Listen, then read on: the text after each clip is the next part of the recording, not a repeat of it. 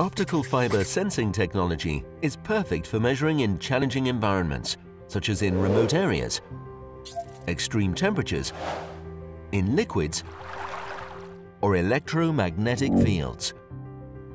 However, current optical fiber technologies are unsuitable for high-quality acoustic vibration sensing due to limited speed and sensitivity. Optics11 introduces the ZonaSens technology, a high-tech optical fiber sensing technology that enables high-quality monitoring of acoustic vibrations. ZonaSens has a bandwidth up to a million measurements per second and a noise level as low as tens of femtostrains.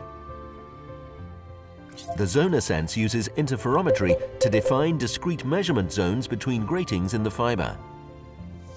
Within these zones, the ZonaSens observes minute changes in length of the fiber. The zones become the sensing elements of the system, which can be applied in many ways to solve measurement challenges.